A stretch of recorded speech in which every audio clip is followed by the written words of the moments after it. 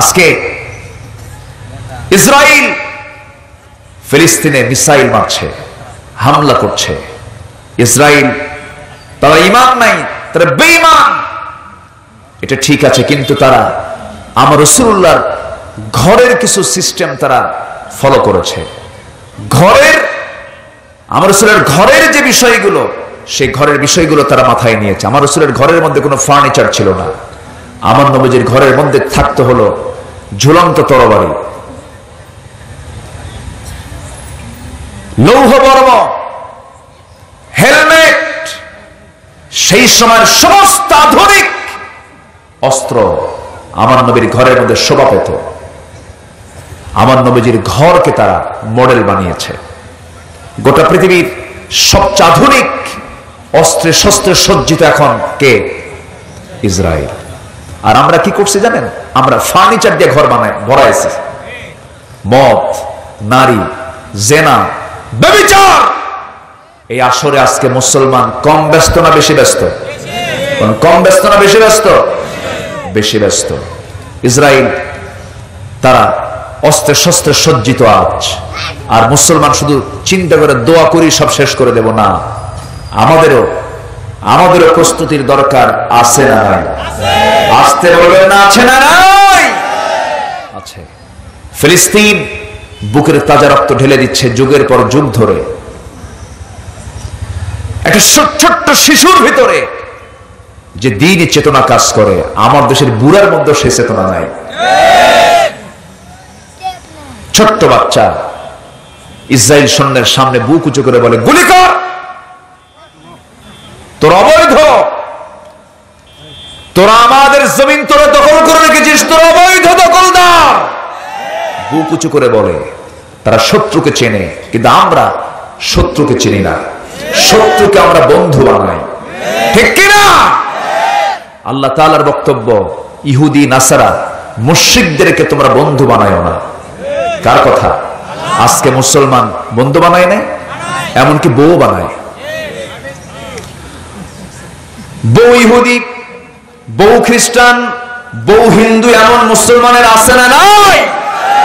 আচ্ছা। হিন্দু হিন্দুর ধর্ম পালন করে আর স্বামী মুসলমান স্বামীর ধর্ম মুসলমান ধর্ম পালন করে। মানে দুই লাকুম দিন কুমারিয়া দিন। তোমার দিন তোমার আমার দিন আমার। তুমি তোমারটা পালন করো আমি আমারটা পালন করি। এটা কি ইসলাম? আসতে পারে এটা কি ইসলাম? না এটার নাম ইসলাম না। সম্মানিত ভাইয়েরা, তাহলে স্ত্রী যদি অন্য ধর্মের হন, স্বামী যদি মুসলমান হন, বিয়ে কি হবে? বিয়ের শর্ত হলো উভয়কে কি হওয়া? মুসলমান হওয়া। তুমি হল মুশরিকাত হাত্তা ঈমান না পর্যন্ত বিয়ে হবে না। আজকে আমরা যা ইচ্ছা তাই আমরা বলছি। অথচ আল্লাহ তাআলা ইহুদি এবং খ্রিস্টানদের ব্যাপারে স্পষ্ট বক্তব্য বাড়িতে খুলে দেখবেন, আমার কথা নয়। সূরা মায়েদার একান্ন নম্বর আয়াত। কয় নম্বর আয়াত? একান্ন। কোট করে নেন, লিখে নেন। সূরা মায়েদার একান্ন নম্বর আয়াত। আল্লাহ রাব্বুল আলামিন বলেন, ইয়া আইয়ুহাল্লাযীনা আমানু লা তাত্তাখিযুল ইয়াহুদা ওয়ান أولياء بعضهم أولياء بعض ومن يتولهم منكم فإنه منهم إن الله لا يهدي القوم الظالمين جبرنا الله أكبر هي من درنا تمرب يهودي كيب নাসরাকে কখনো বন্ধু হিসেবে গ্রহণ করতে যেও না? তোমরা যদি তাদেরকে বন্ধু বানাও, তোমরা তাদের মতোই হয়ে যাবে। তোমরা তাদের মতোই হয়ে যাবে। আমার কাছে তোমাদের মূল্য তাদের মতো মূল্য হয়ে যাবে। আল্লাহ তাআলা জালিম সম্প্রদায়কে কখনো হেদায়েত দেন না। একদম স্পষ্ট কথা, ক্লিয়ার কথা, দুঃখজনক হলো সত্য। আজকে মুসলমানরা তাদের বন্ধু আছে না নাই বলেন? আসতে বলবেন না আছে না নাই? শুধু মাথায় পাগড়ি দিলে মুখে দাঁড়িয়ে রাখলে লম্বা জুব্বা পড়লে আপনি ইমানদার হতে পারবেন না। ইমানদারের মূল কন্ডিশন হলো আপনাকে ফরজিয়াত বিষয়গুলোকে আপনাকে মানতে হবে, শিরিকের কাজগুলো বাদ দিতে হবে, বেদাতের কাজগুলো বাদ দিতে হবে। মুশ্রিককে বন্ধু বানানো যাবে না, ইহুদিকে বন্ধু বানানো যাবে না, নাসারাকে বন্ধু বানানো যাবে না। কার কথা? আসতে বলবেন না, কার কথা? এই ইহুদির বাচ্চারা আমার নবীকে হত্যা করার জন্য নবীর খাবারের মধ্যে বিষ পর্যন্ত ঢুকায়া দিয়েছে। অসংখ্য নবীকে ইহুদিরা হত্যা করেছে? যারা নবীদেরকে হত্যা করতে চায়, হত্যা করে, তারা কি আমাদেরকে জীবিত রাখতে চায়? ওরা বলে, বাইতুল আকসা আমাদের। ওরা বলে, এটা আমাদের জায়গা ইসরায়েল বলে। অথচ বাইতুল আকসা নির্মাণ করেছেন সুলাইমান আলী সালাম। মুসলমানদের পবিত্র জায়গা বাইতুল আকসা, যেখানে সকল পয়গম্বরকে পিছনে রেখে আমার নবীজি সকল পয়গম্বরদের নামাজের নেতৃত্ব দিয়েছেন মেরাজের রাত্রে রাসূল এখান থেকে মেরাজ করেছে। যেখানে নামাজ পড়লে পরে আমার আপনার মসজিদের চাইতে কয়েক হাজার গুণ সব বেশি পাওয়া যায়। সেখানে আজ জুমার নামাজে বাধা দেওয়া হচ্ছে। নামাজ পড়তে দিচ্ছে না। ঝরছে। একটা শিশুর কান্না এবং একটা শিশুর চিঠি আমাকে কাঁদিয়েছে বারবার।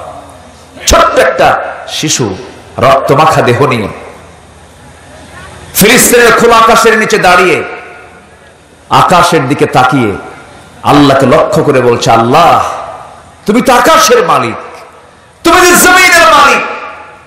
আজকে আমার আব্বা নাই। আজকে আমার আম্মা নাই। আজকে আমার ভাইটা নাই, আমার থাকার জায়গা নাই,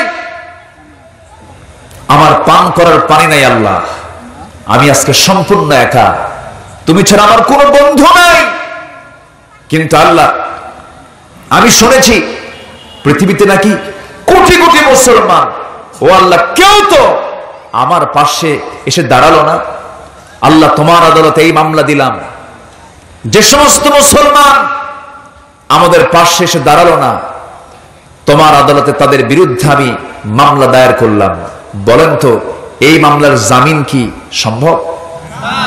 আসতে কয়। জামিন কি সম্ভব? সম্ভব না। তাহলে আমাদের কাজ করার দরকার আছে না নাই?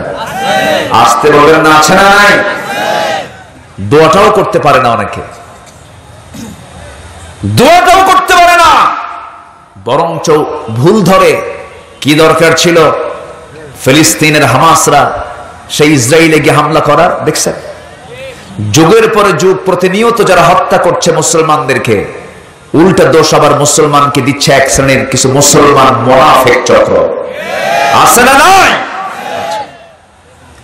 অথচ আল্লাহ রাব্বুল আলামিন বলেন وما لكم لا تقاتلون في سبيل الله والمستضعفين من الرجال والنساء والولدان الذين يقولون ربنا أخرجنا من هذا من هذه القرية الظالم أهلها واجعل لنا من لدنك وليا واجعل لنا من لدنك نصيرا جل الله أكبر সূরাতুন নিসা আয়াত নাম্বার 71 আল্লাহ রাব্বুল আলামিন বলছেন ও ইমানদাররা তোমাদের কি হলো তোমরা যুদ্ধ করছো না সংগ্রাম করছো না সেই পথে অথচ ওই সমস্ত অসহায় মানুষ,